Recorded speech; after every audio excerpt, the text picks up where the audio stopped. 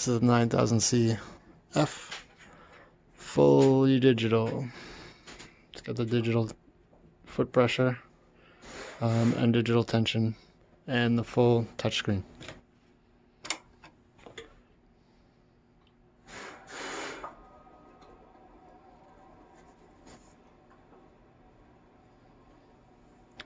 It's the home position.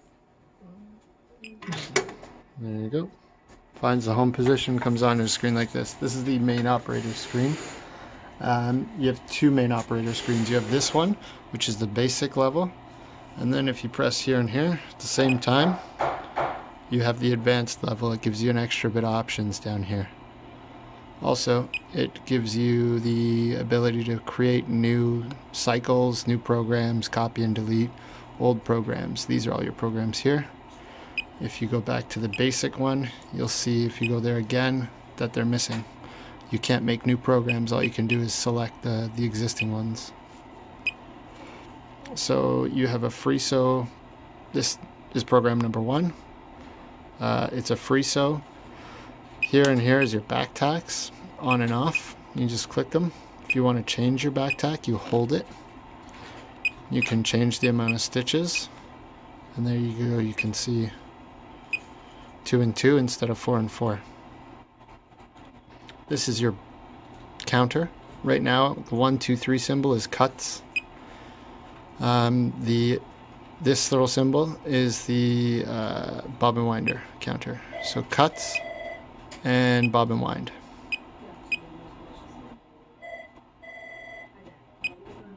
Okay, uh, here you have the speed, which you can change. Now it's 2600. This is the thread presser on and off. Thread presser is this guy.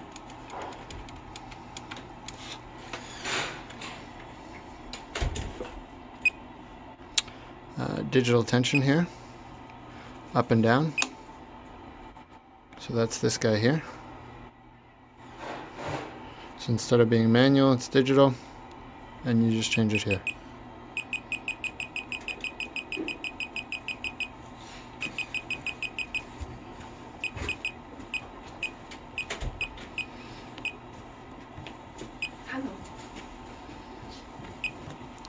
This is your stitch pitch right here.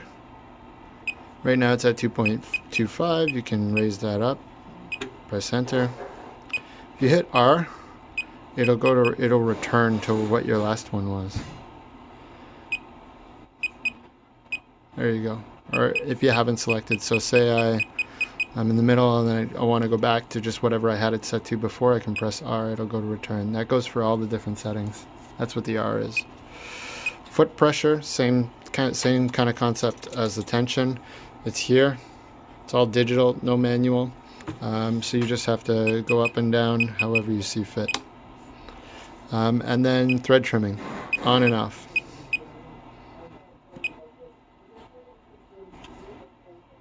Okay, if we go into the advanced one, you get this extra line. The extra line has feed dog height, Okay, it's a it's a number between negative four and eight. If you go in the manual somewhere in the manual, it'll tell you exactly what those numbers mean. How many millimeters above the plate, the throat plate that is. Needle position up and down, where the needle stops when you trim, after you trim. The feed locusts, the style at which they can be perfectly circular. They can go straight up in the back and fall forward uh, they can do the opposite and then they can kind of do a, a box style. And then this one has got a ton of options. A lot of it is the same from the, the previous screen, like needle position you can see there, uh, foot pressure, tension, stitch pitch, thread presser. All, a lot of them are, are the same, but uh, you'll see a couple new ones. First of all, you'll see these. All these ones down here, they're kind of separated. And if you notice, they have this little hand symbol, like a, a, a, finger pointing straight up, and two arrows going side to side. That's the symbol for the one touch changeover. So all of these settings are for the one touch changeover. The one touch changeover is this button here. So as you're sewing, if we go back here, I might be able to see it. No, I haven't said anything different.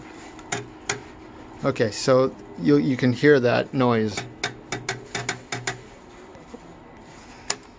Ah, I got the wrong one. That's the reverse button. This is the one-touch changeover. So you can notice the one-touch changeover is a quick change settings. So you'll notice the speed there went from it goes from 1500 to 2600. 2600 is the standard. When I hit the the one-touch changeover, it goes to 1500. So it slows down considerably. Um, the stitch pitch is 2.5 here normally, and then it goes to a big stitch pitch here, which is 3.5. Those are really the only two uh, two things that are different. Um, but that means if you're sewing,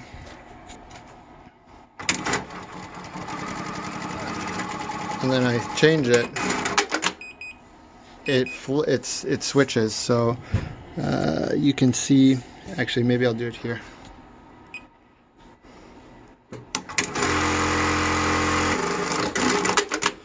That didn't work.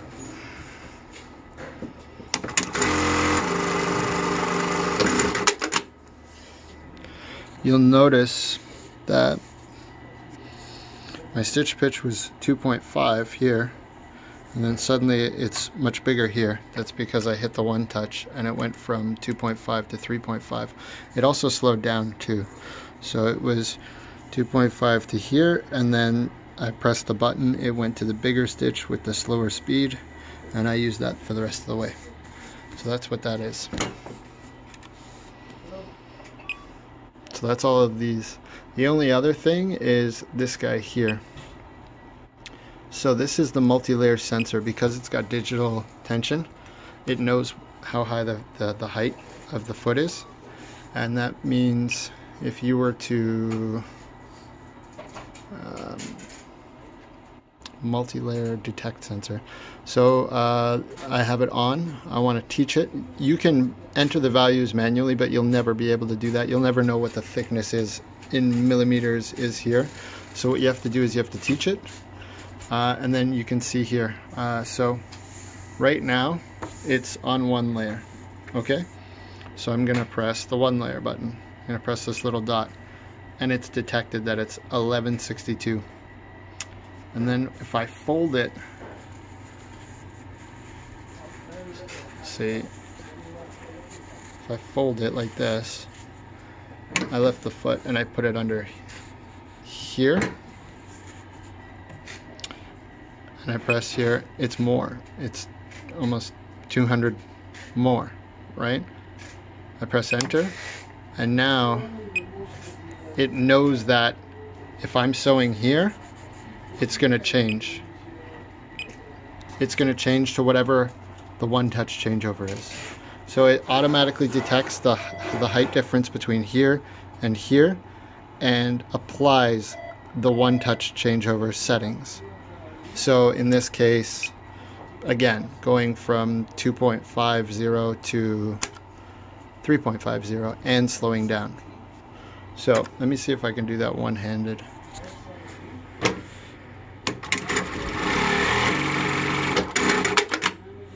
So I didn't touch this button this time, but you can see again the difference here between the small stitch and then as soon as it registered that I was on the on the thicker part here there's a little bit of uh, the edge is not completely firm.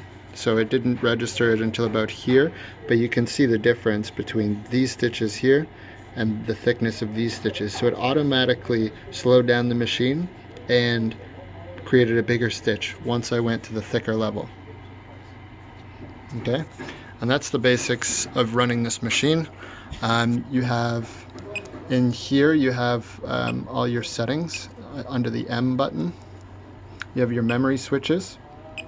Memory switches is like um, your parameters of the machine, the settings of the machine. So you have soft start function, material end sensor, you can go through all of these and, and, and see what you want to use. Um, bobbin winding mode, that's, that's key. That's now makes this work because it won't work normally. So you take out your bobbin, put it in up here, and wind it. Just press the X to get out. Counter settings, if you want to adjust your counter, what your counter is. So I have the bobbin counter at 50. That's unreasonably low. So I'll put it up to like say 250. And now you'll see here it's 250. Originally it was 50. So 50 was no good. It was much too low. So um, clock settings version will give you what version of the panel you have, like of the electronics. Um, custom pitch settings, that's something pretty, it's in the manual, it's pretty advanced. Uh, normally you won't use that type of thing, um, but it's if you want to do a custom uh, condensed stitch before the back tack, you do like, say three tiny stitches, then you do the back, back stitch and then you start sewing. So that little those three tiny stitches before even the back tack that's the condensation custom sewing settings.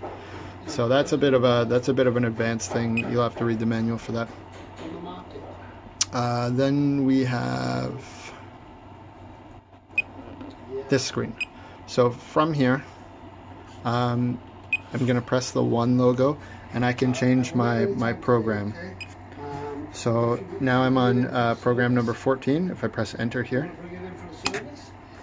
it's just a bar tack or a, just a tack back and forth. So if I put it under here, press the pedal go, it just goes back and forth and creates that little tack right there. Okay, and then I have all my same settings, blah blah blah. Um, you can change it all here if you click on it. Okay, um, then you go you go here to change it again. Um, there's a here uh, is a this is different from the sew so because it's a solid thick line um, because it's a solid thick line it is a it's it's it's counting the number of stitches. So here you've got 20 stitches. So it's going to count 20 stitches and automatically stop. Let's see here so I haven't let go of the pedal. I'm still pressing down, but it's automatically stopped. My only option is the back heel and cut. And so it's only stitched 20 stitches. Okay. Um, you can change that here. You can make it, uh, you know, say 30 stitches. And it'll go even further.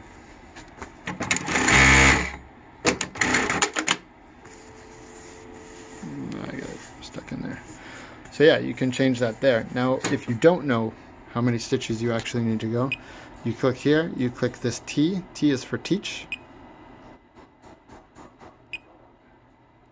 Okay, and then it's so it's selected there. Doesn't change the screen or anything, but it's selected.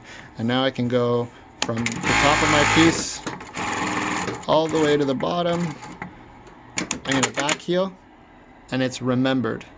70 stitches it says. So now if I place this at the top here and start sewing, I'll never go off the piece. It's always going to stop before the end. Okay.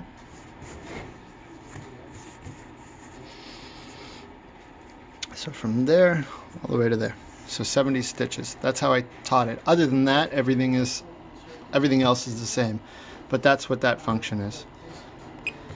So you have free sew, which is just sewing as much as you want forever.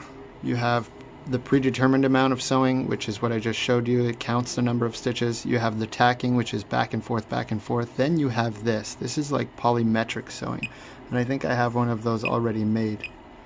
No, this is a cycle. So I don't have the polymetric already made, but I'll go back to here and I'll show you. So what this does is it's pretty much the same thing as this, this counts just one way.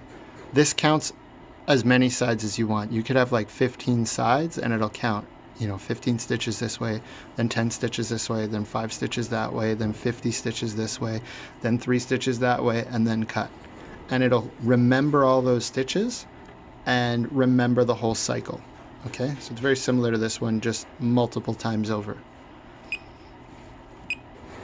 Uh, then the next thing would be the only last thing would be this. This is cycle. So in cycle mode, what it's going to do, uh, I'm not sure how this, okay, so this one's set up that it has attack. So what it does, anyways, I'll explain what it does. I'm on step one of two. There's only two steps in, the, in my cycle. So it's going to tack and then sew. And then once I finish sewing, it's going to go back to tack and then it's going to sew.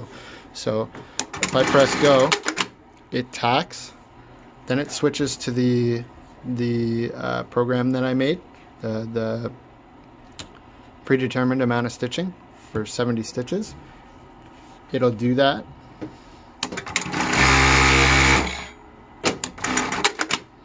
And then it automatically goes back to the tack. So it keeps switching back and forth. It cycles exactly like it, what it's called. Okay? So that's pretty much the like everything you need to know. Um, you have a few more options in here, um, but it's really it's just information on communication, production control. It's not something you. This is generally used in factories to to um, to compare statistics. Let's say versus this one is actually changes the way the machine works. This is just information exactly what it says here information list. It's just information on how many things you've you know made today stuff like that. Like like i say for factories. You have um, usb here you can add sewing programs. So if i want to take this cycle i can take it via usb and put it on another 9000c i can also do it via nfc which i have a different video for okay that's everything you need to know about the 9000 CF.